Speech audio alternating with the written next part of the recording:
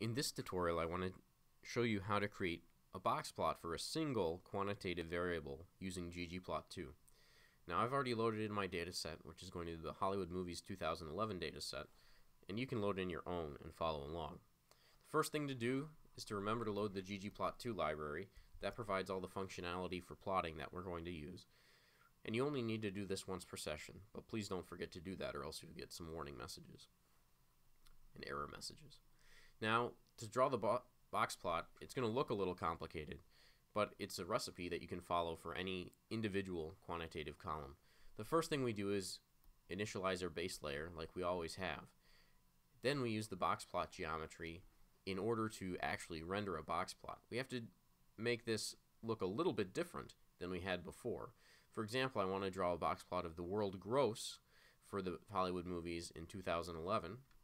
And in order to do this, rather than specifying AES and then X equal to something or Y equal to something, what we need to do is tell the box plot geometry that world gross is a variable. And that's what this is doing.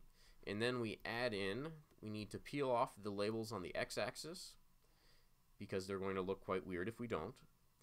We're going to specify a nice label on the y-axis that is readable.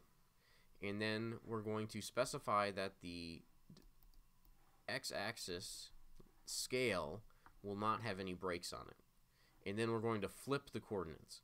Now this gets a little tricky so what I'm going to do is run each of these. I'm going to run it all at once and then break it down into stages.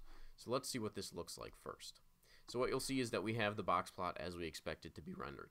But what is this actually doing? So let's dig down a little bit if we just run these first two lines, what you'll see is that it draws the basic box plot, and then you'll see why we need to clean things up a little bit. So you'll see down here on the X label, you have this var and X, and you don't want that at all. So you would like to remove that. And so we're going to remove the X label using this second line.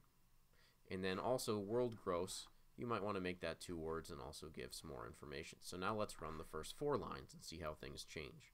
So now you're seeing that we have a nice label on our y-axis, a vertically oriented box plot. We still have this pesky little breakdown here labeled var.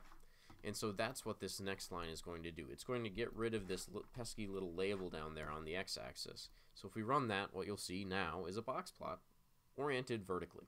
Now that's nice, but actually vertical comparisons are slightly easier to run, so I'm going to interchange the x and the y coordinates here so that now, after running that code, you can trace down from Q1 and see where it hits on the x-axis a little bit more easily than you could tracing across to the y. This is how you create just one box plot using ggplot2.